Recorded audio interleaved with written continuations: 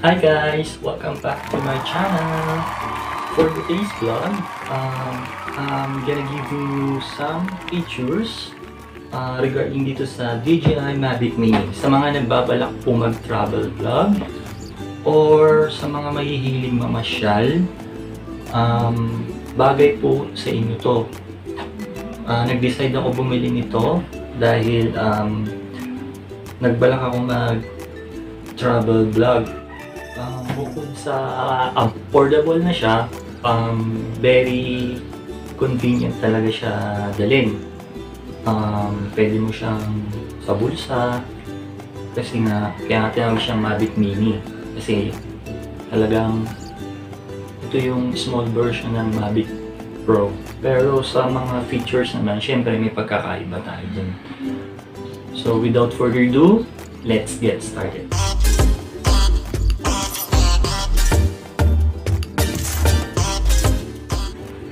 So, ito nga pala, nabili ko to sa camera, camera house na kakalaga ng 26,499. Sayang nga lang kasi nung binili ko to dun, um, bala ko sana siya gawan ng unboxing. Pero syempre, sinigurado ko dun na bago ko siya iuwi sa bahay is okay yung yun. So guys, buksan na natin.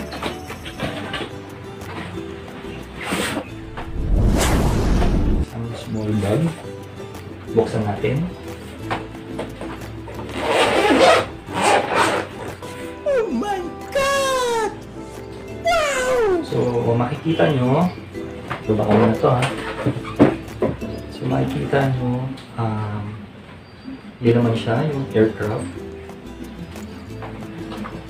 Um, controller.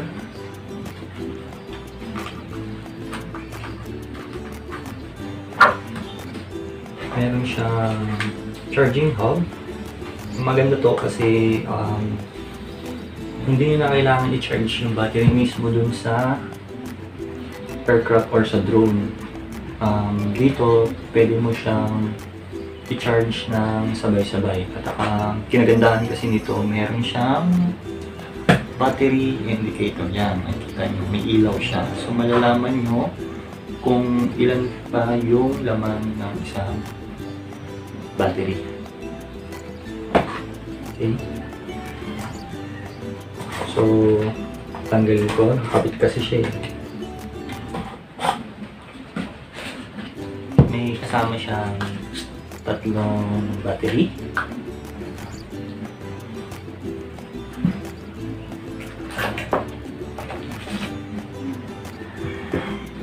Charging o yung charger niya.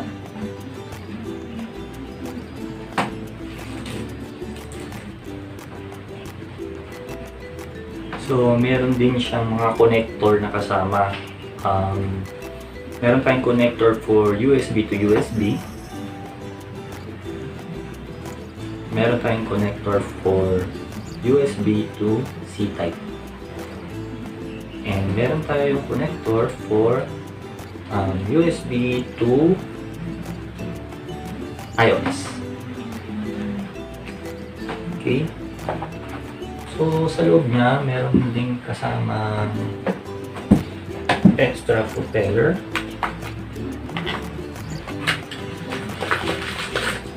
Yan. Meron tayong tatlong set na extra propeller para kung if ever na pudpud yung um, propeller ng drone, meron tayo dito pamalit.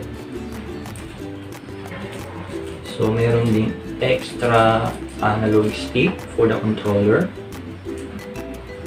Yan. So, yung analog stick niya nandito sa ilalim. Uh, kinukuha lang siya, then ikakabit. Ayan. So, yan po yung itsura niya.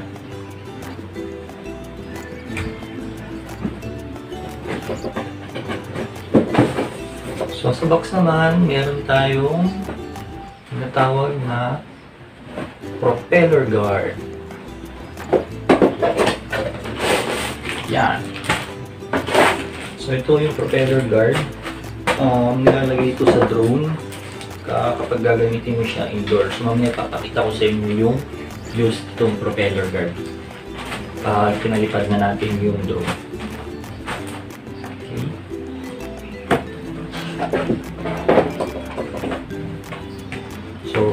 Din siyang kasama sa loob na manual.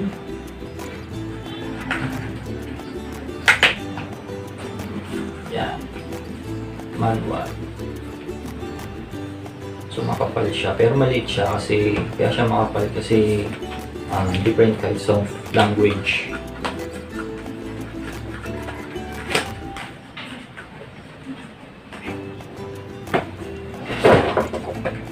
Loob din ng box, meron extra connector para sa charger. Yan. Ito pa, meron din siyang small screw. Ah, ito yung ginagamit dito para pagpapalit ng propeller. So guys, kaya um, kalimutan akong sabihin, bali, ang binili ko pala kasi is DJI Mavic Mini um, Fly More Combo. Yan, kung makikita nyo, yan, kompleto siya, marami siyang kasama.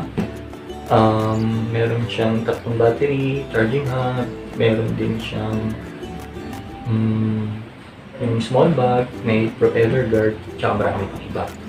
Ah, meron naman ding isa na DJI Mavic Mini Standard. Ito yung itsura ng um, box niya. Bali, sa standard, isang kasama lang is one aircraft controller and then battery. Yun lang. So, kung bibili kayo ng DJI Mavic Mini, konti lang naman yung diferensya. Um, 6,049 lang naman yung diferensya niya. So, marami ka ng um, makukuha dun sa loob ng box. May mga battery na siya. So, yun guys, nabuksan na natin siya. Um, napakita ko na sa inyo kung ano-ano yung mga laman ng box. Ang sunod naman natin gagawin is um, tuturuan ko kayo kung paano i-operate.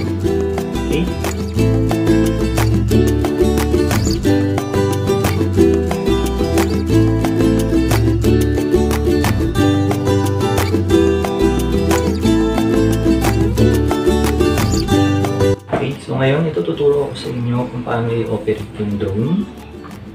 First, um, kunin natin itong mismong aircraft. Um, maraming nagkakamali dito kapag ka sisigan nila yung drone. Ah, nakakalimutan nila tanggalin yung gimbal protector.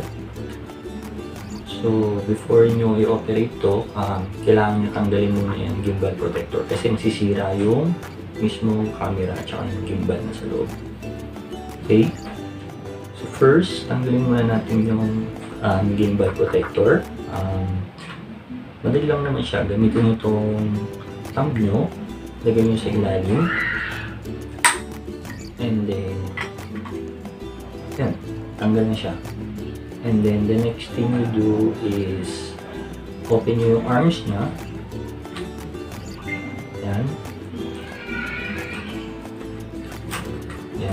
Open nyo lang yung niya. So, ito na siya. Itsura. The next thing you do is kunin nyo yung battery. So, kunin ko yung pinaka puno. Sa likod niya, yung lagayan ng battery. Madali lang din siya buksan. Gamitin niyo lang yung right thumb nyo or yung thumb nyo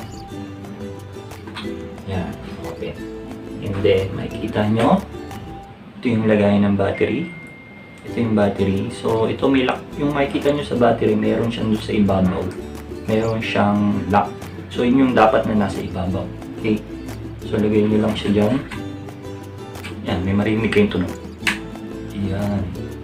So, pag narinig nyo na yung tunog na yun, um, nakalock na siya sa loob. Pwede nyo na siyang isara. Okay? The next thing you will do is set up nyo yung controller. Open nyo lang siya. Like this. Okay, so yung tinuro ko kanina, yung analog stick niya nando sa ilalim. Ikakabit nyo lang siya. So ito yung pinakagusto ko talaga sa controller ng DJI kasi natatanggal yung analog niya and then nakakabit lang siya sa ilalim. So open mo yung antenna like this. So since iOS yung gagamitin kong phone, ang gagamitin kong connector is yung pang iOS. So itong USB, nandito sa may gilid, ilalagay mo lang siya. Then, and then yung phone nyo, ikakabit nyo lang siya dito.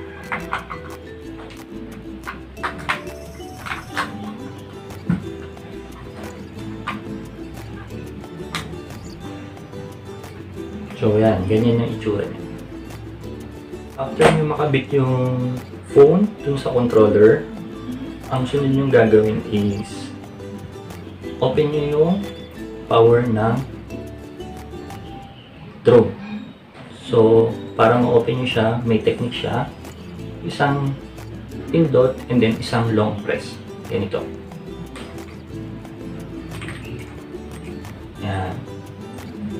Yan. So, makikita nyo yung gimbal. Kaka-calibrate siya ng camera. Yan. So, um, sa mga bugano, huwag kayo matatakot kasi pag inopen nyo siya, yung mismong AEC niya, gagalaw siya konti. Okay? Next thing you will do, open the power of the controller. Ganun din siya. Isang pindot, isang long press. May maririnig kayong tunog.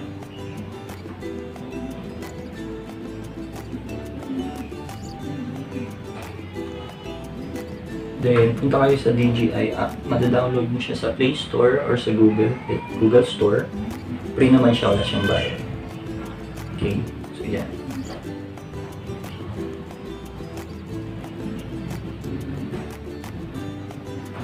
Yan, so makikita nyo, connected na siya sa drone.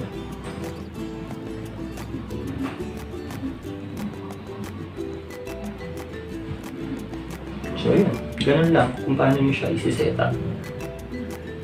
Ang sunod ko namang ituturo sa inyo kung paano siya i-operate. Um, kung ano yung mga bawal, mga restricted area na bawal siya pagdatarin. Actually guys, nung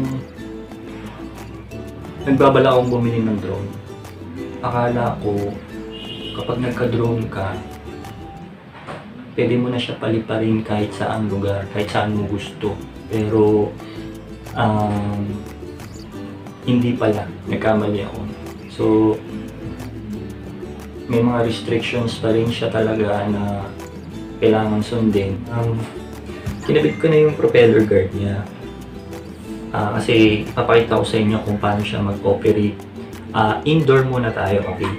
So, kinabit ko yung propeller kasi ito naman yung use ng propeller. Um, para maprotektahan yung propeller guard niya. So kung magpapalipad ka ng indoor sa loob ng bahay, ikabit mo yung um, propeller guard niya para yung propeller niya is hindi masira. So mamaya papakita ko sa inyo kung ano yung use ng propeller guard. Punta tayo dito sa apps, papakita ko sa inyo yung mga features ng apps, mga controls. Okay?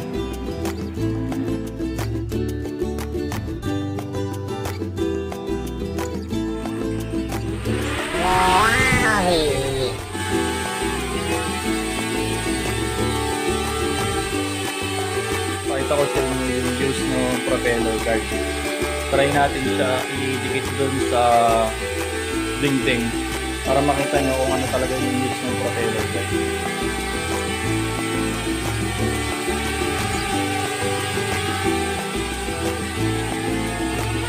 Yan.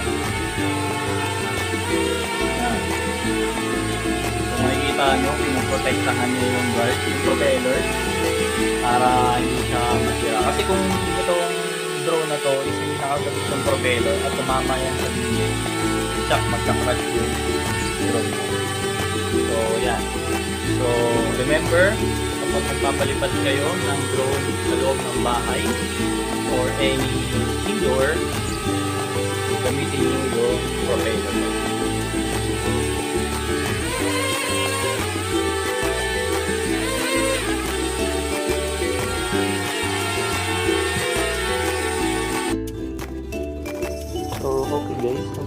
Tayo mismo dun sa screen ng controller natin. So, dito ipapakita ko sa inyo yung mga different kinds of features um, sa controller. Makikita nyo ngayon dito sa screen yung battery indicator.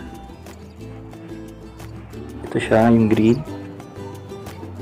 So, makikita nyo meron pa tayong 81%. Then, may makikita rin tayong um, signal.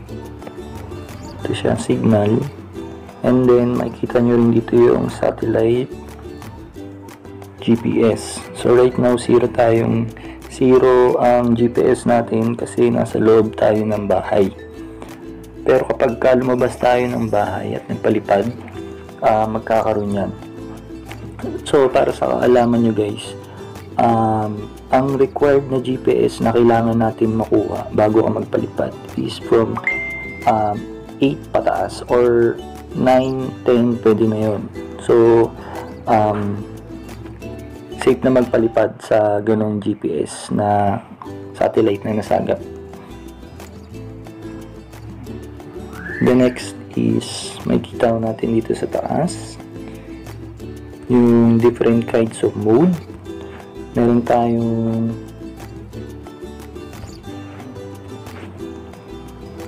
sports mode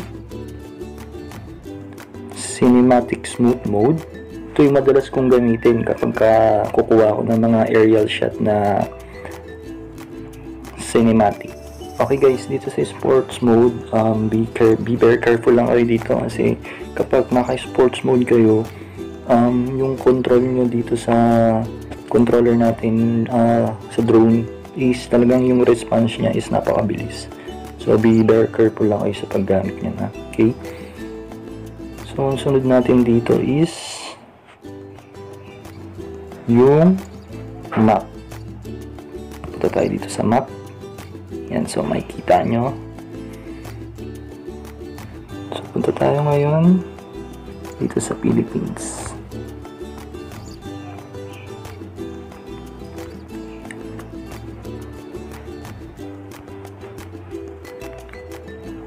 Yan. Yung sinasabi ko sa inyo guys.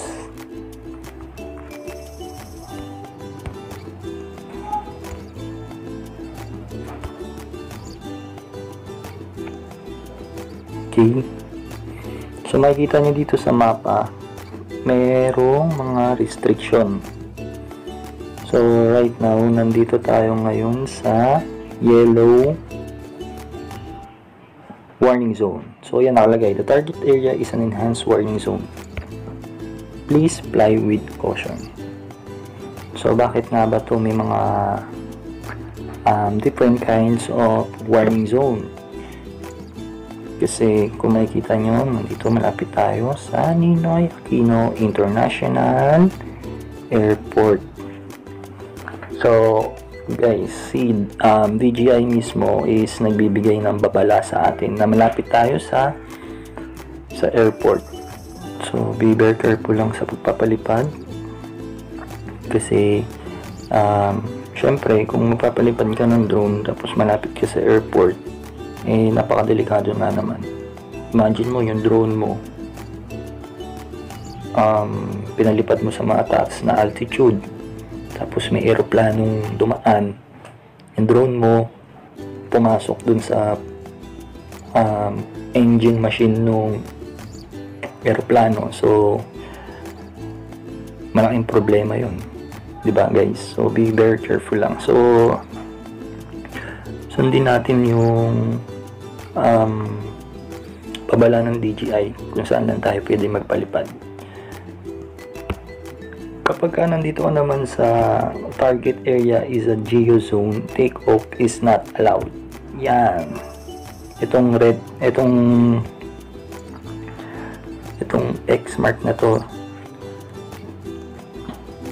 Yan, bawal dyan. So, yan.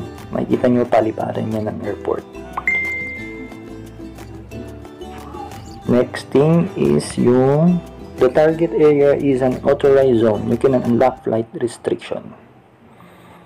Actually, uh, may napanood ako sa YouTube regarding on this. Um, kung ikaw is nandito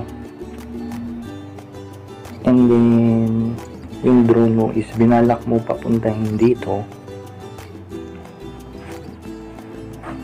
dito pa lang sa boundary ng blue hindi na magpo-push through yung drone mo. So hindi na siya papasok sa blue. Talagang hinaharangan na siya nung um, application, application mismo na bawal pumasok dyan sa blue.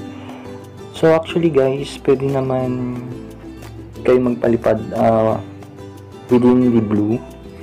Pero kailangan nyo lang talagang humingi ng permission kay DJI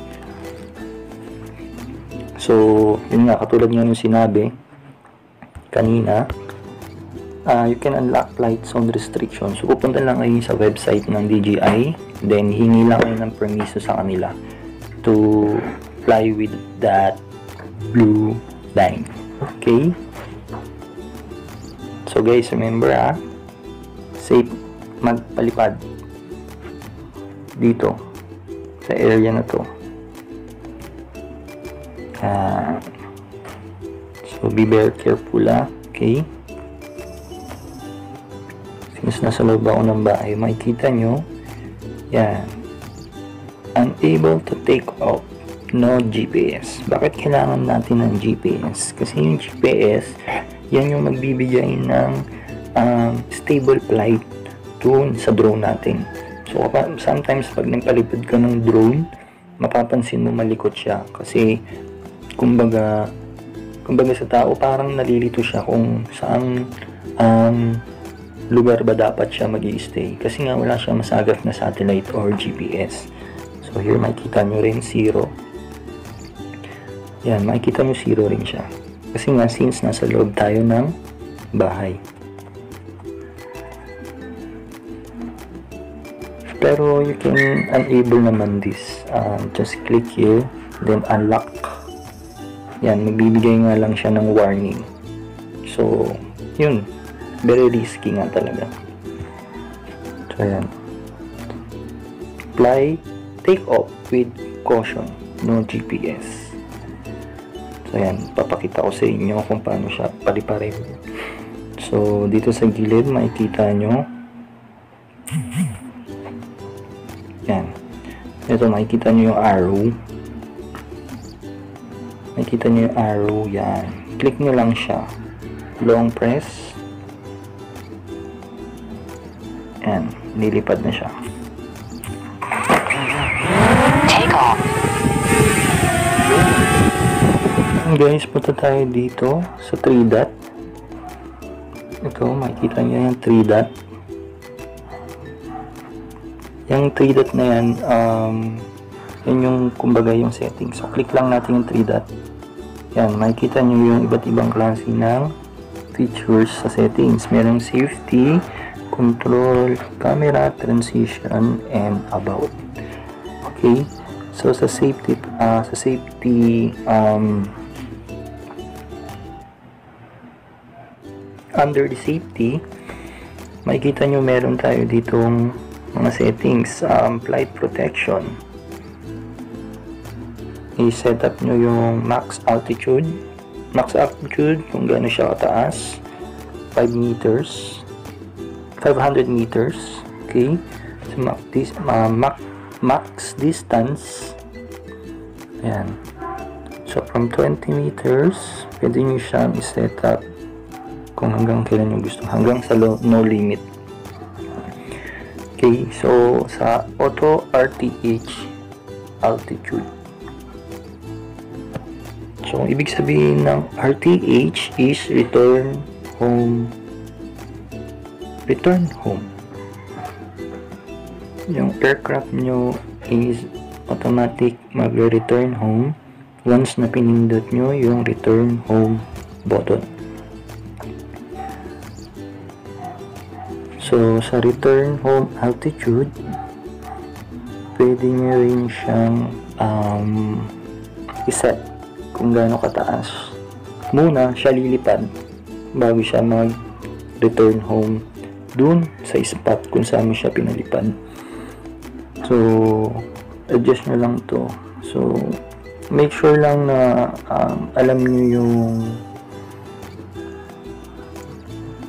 gaano kataas bago siya lumipad. Kasi like for example, may mga buildings. So, lala, ano yan eh, um, bago yung mag-return home button, lil, um, bago siya mag-return mula dun sa area na pinalipad mo siya, um, lilipad muna siya ng tamang altitude niya. O yung sinet mong altitude dito sa controller um, ang purpose nun is para maiwasan niya bumangga kung meron ng building or puno na dadaanan niya bago muna siya mag-landing okay so make sure lang na nasa tama so mga ideal naman na um, altitude is 50 to 80 kung magpapalipad ka naman sa open area. Okay. So, meron din dito ang features na update home point. So, gagana lang to kapag yung aircraft mo is napalipad mo na. So, automatic, pag pinindot mo to, ga-update yung home point niya. So, meron din tayo ditong compass gimbal. Yan, papakita ko sa inyo kung paano itong compass gimbal. Yan. So, mag-calibrate tayo ng aircraft. So, rotate aircraft 360 horizontally. Yan. Next, vertically. Yan, calibration successful. So, ayun guys, nakapakita ko na sa inyo kung paano siya i-calibrate yung compass. Then, meron din tayong IMU calibration. So, ayan, um, makikita nyo naman dito, susundin nyo lang kung ano yung ipapagawa nung, um, nung nasa screen. So, madali lang siya. Ah, hindi ko kasi siya mapakita guys kasi um, kailangan naka-flip over yung mga kamay niya. So right now nakakabit yung um, propeller guard. So hindi ko siya magagawa. Pero kung susundan niyo naman ang nandun, kung susundan niyo naman yung nandun sa screen is ma-identify niyo kung paano siya ginagawa. Okay, balik tayo dito. So meron din tayong ito nga yung unlock geo zone so yan na nga yun yung sinasabi ko kanina. Hingi ka ng permission kay DJI dun sa website nila kung gusto mo magpalipad dun sa mga restricted area. Yan. Okay so next is meron din tayong find my drone yan very useful to guys kasi once na nag um, emergency landing yung drone nyo nang hindi pa nakakauwi dun sa area kung saan nyo siya pinalipad, um, pwede nyo siya matrack. So, yan.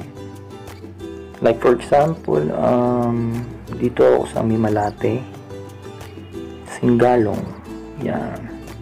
So, ito yung area ko. And then, for example, dito, sa area na to bumaksak yung drone.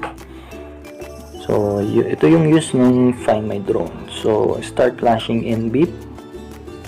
So, yan. Tuturo niya sa iyo yung mapa kung nasaan. Ituturo ng mapa sa iyo kung nasaan yung drone mismo um, nag-crash or nag-landing. So, magandang um, gamit to in case of emergency. So, under advanced safety settings, yan. Meron tayo dito um, emergency propeller stop. So, bibigyan ko kayo ng isang situations like, like for example, nagpapalipad ka ng drone and then, yun nga, um, parang napansin mo na may paparating na eroplano. So, ito yung use nito. So, syempre, um, hindi mo na maiwas yung drone mo na dahil sa paparating na eroplano. Um, the best thing you can do is um, emergency propeller stop. So, in this way, um, maaaring mapabilis yung pagbaksak ng drone mo at maiwasan yung aksidente. So, meron tayong options dito, anytime, and emergency only. So, I prefer emergency only kasi kung itong anytime, um, yun, um, inopen mo, and then ginawa mo tong dalawang ginawa mo tong dalawang maneuver na to sa controller um, babaksak yung drone mo sa ere ng ibig sabihin yung propeller mo is hihinto sa ere and then babaksak yung drone mo so bye drone wala ka ng drone sira na so be very careful on that, that guys so yun I prefer emergency only. So, kailangan mo lang siya gawin when, when it comes to emergency. Okay. So, itong payload mode, itong option to, ino-open to, lalo-lalo na if ginagamit mo yung propeller guard. Okay. Guys, um, under advanced mode, um, meron din ditong adjust ng pitch speed tsaka pitch smoothness. Uh, set rotation to gimbal smoothness tsaka set gimbal rotation speed. Calibration ng gimbal. Yan. Stick mode, arch calibration, and then flight mode. Under camera, meron tayong sizes. Nakikita mo rin dito yung SD card. Meron din tayo transmission, yung frequency channel mode, pwedeng auto, pwedeng manual. Sa about naman, makikita mo dito yung, yun, yung name ng drone mo, model, Mavic Mini, aircraft firmware, RC firmware, FlySafe database, FlySafe data for apps, app version, battery times, kung ilang beses mo na siya na-charge, makikita mo dito. Okay, so yun. So, over and all guys, sa safety lang talaga tayo magfo-focus kasi itong safety lang talaga yung the best options para magpalipad ng safe mode.